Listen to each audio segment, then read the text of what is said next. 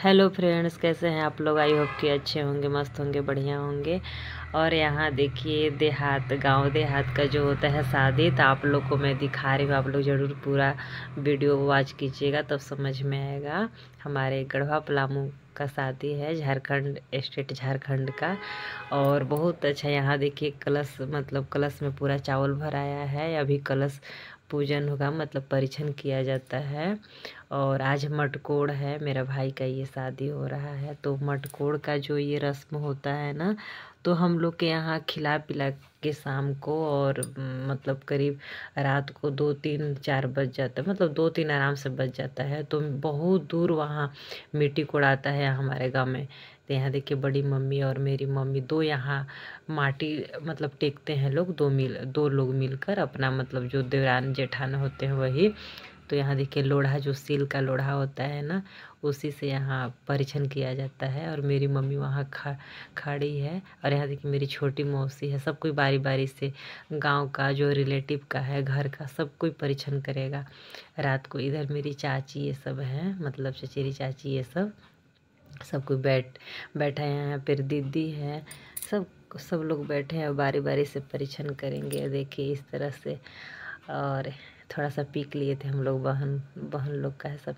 यहाँ देखिए मेरे पापा हैं आए हैं यहाँ बगल में पंडित जी हैं भाई के बगल में हल्दी चढ़वाएँगे ना तो आगे तो पंडित जी चढ़ाते उसके बाद मतलब घर वाले रिले, रिलेटिव लोग जो बने बड़े हैं सब लोग जीजा जी मौसा फूफा जो हैं चाचा पापा सब कुछ चढ़ाएगा।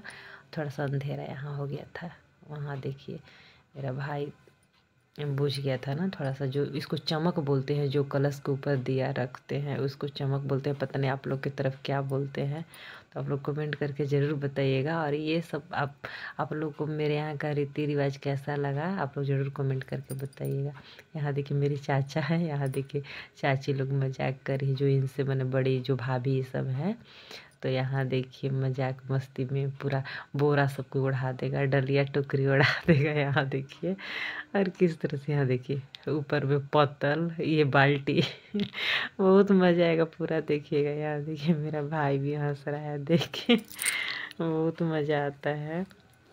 यहाँ देखिए इस तरह से कैसे चढ़ाया जाता है। मतलब चढ़ा, इसी की वजह से ना लोग मतलब अच्छा कपड़ा नहीं पहनते क्योंकि पूरा गंदा हो जाते हैं। देखिए सॉल ओढ़ा दिया गया।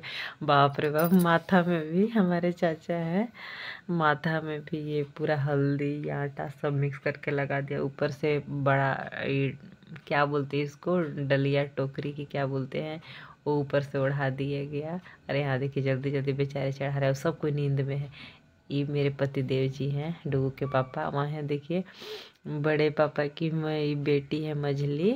और बगल में जो ये